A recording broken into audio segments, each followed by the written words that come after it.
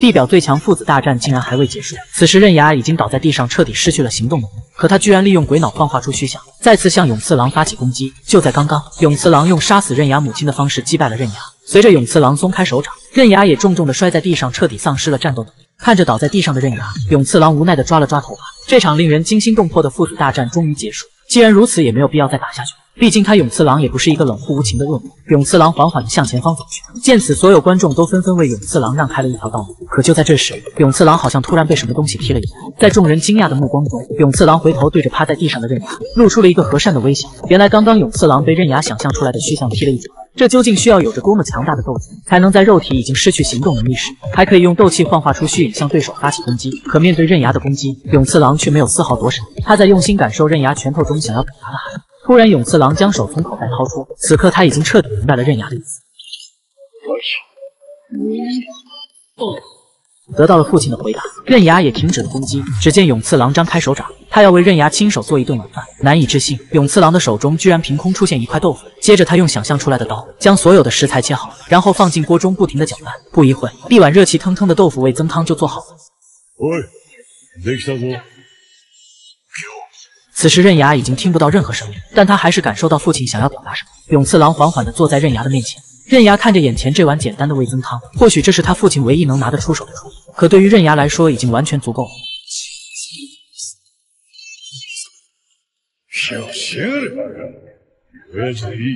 就这样，父子俩在上万人的注视下，坐在了一张桌子上。永次郎慈爱的提醒刃牙，再不吃就要凉掉了。于是刃牙也不再客气，拿起碗筷，当着全世界的注视下，开始吃起永次郎给他做的豆腐汤。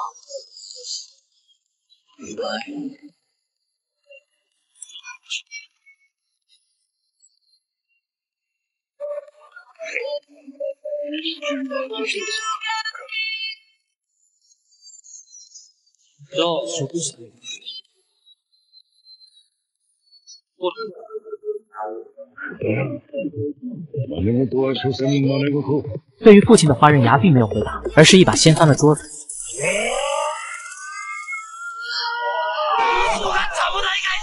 永次郎急忙去接住空中的碗筷和桌子，可还没等他发火，手中的东西却都消失不见。就在永次郎不知所措的时候，刃牙的一句“父亲”将永次郎从茫然中唤醒。因为刃牙知道永次郎是可以感受到那碗汤的，所以刚刚他才会通过掀翻桌子来维护父亲的尊严。此时永次郎也明白了刃牙想要表达的意思。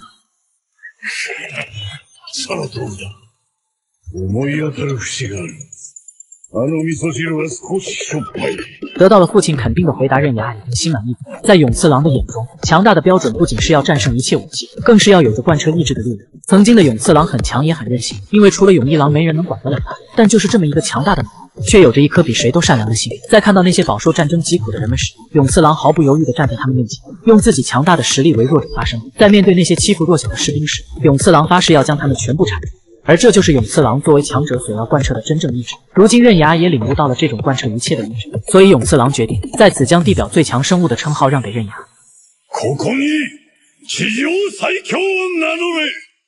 现场的观众瞬间沸腾，新的地表最强生物诞生了。奥利巴等人皆是一惊，所有人都没有想到永次郎竟然会主动认输。在众人的欢呼中，刃牙缓缓地从地上站起，可此时他根本听不到任何声音，也并不知道自己已经成为了新的地表最强。在他的印象里。最终是永次郎将他打倒，要不是父亲手下留情，他已经被杀死了。顿时，上万名观众高喊着永次郎的名字。永次郎没想到地表最强生物的称号又回到了自己的头上。就在这时，德川宣布这场地表最强父子大战已经分出结果。而看完这场战斗，他的癌症也完全治愈。至此，地表最强父子大战终于拉下了。